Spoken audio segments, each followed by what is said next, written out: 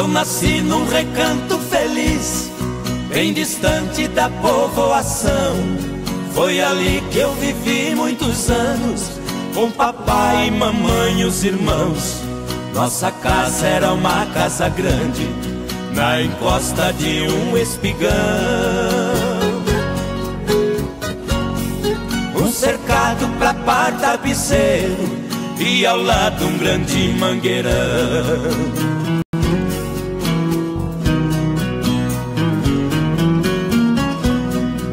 Quintal tinha um forno de lenha e um pomar onde as aves cantavam, um coberto pra guardar o pilão e as tralhas que o papai usava. De manhã eu ia no paiol, uma espiga de milho eu pegava.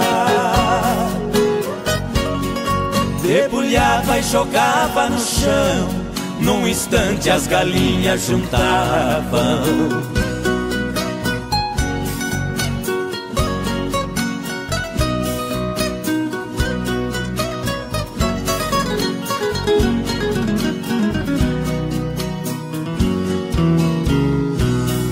Nosso carro de boi conservado, quatro juntas de bois de primeira, quatro cangas, dezesseis cansis, encostados no pé da figueira. Todo sábado eu ia na vila, fazer compra pra semana inteira. O papai ia gritando com os bois, eu na frente abrindo as porteiras.